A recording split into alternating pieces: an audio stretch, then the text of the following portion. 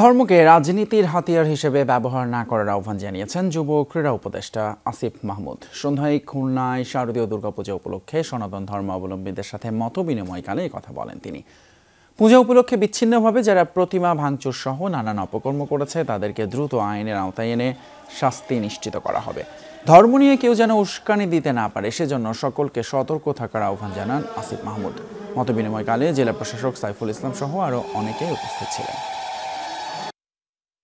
ধর্মকে রাজনৈতিক হাতিয়ার হিসেবে ব্যবহার করে মানুষের মধ্যে ধর্মীয় বিভেদ উস্কে দিয়ে বিভিন্ন সময় বিভিন্ন রাজনৈতিক দল তাদের রাজনৈতিক স্বার্থ হাসিল হাসিলের চেষ্টা করেছে। আমরা দায়িত্বে আসার সাথে সাথে এটা বলেছি যে এখন থেকে এই বাংলাদেশে এটা হতে দেওয়া হবে না।